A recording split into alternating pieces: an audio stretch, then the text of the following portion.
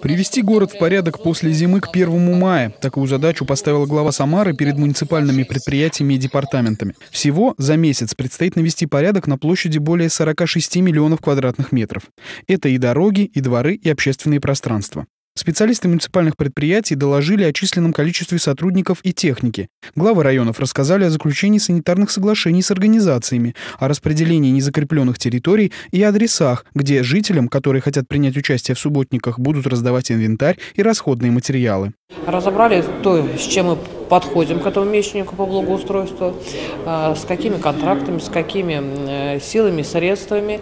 А, поставили задачу, на что в первую очередь обращать внимание. Конечно, у нас весь мечник по благоустройству распределен по видам работ. Но и про текущую сезонную работу забывать тоже не нужно, отметил глава Самары. На заседании штаба присутствовали представители ресурсоснабжающих организаций. В холодную снежную погоду участки, на которых произошли аварии, заделывают временным способом. Ресурсники выразили готовность привести в порядок все адреса, как только погода позволит это сделать. У каждого есть понимание количества вскрытий, которые заделаны по временной схеме на территории города.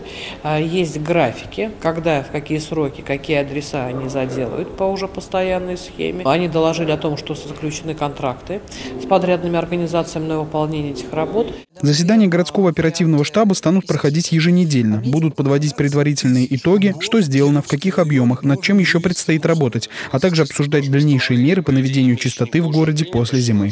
Андрей Горгуленко, Константин Головин. События.